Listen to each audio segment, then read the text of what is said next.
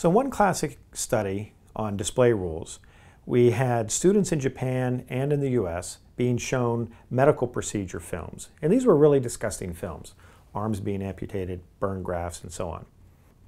Now, as it turns out, they saw the films in one of two different conditions, though, either alone or in the presence of an authority figure.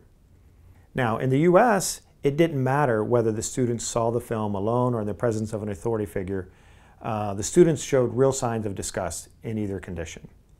But in Japan, it was only when they saw the film alone did the students show the disgust face. Because in Japan, there's a rule, a cultural norm, that prohibits disgust expressions in the presence of an authority figure.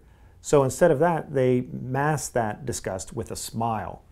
Interestingly, these smiles were not genuine smiles because they didn't involve the eyes. So this is a good example of how culture influences and dictates when it's okay to express which emotion. So what about gender and emotion? Of course, the stereotype is that women are more emotional uh, than men. Uh, the question is, is there any evidence for this stereotype? Well, yes and no.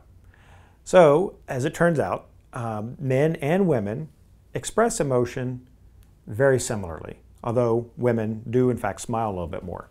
But women do seem to have an advantage in two areas. First, when talking about emotion, they're more precise than men. Men seem to be a little bit more vague. And secondly, women are better at reading emotion on people's faces and hearing it in their voices.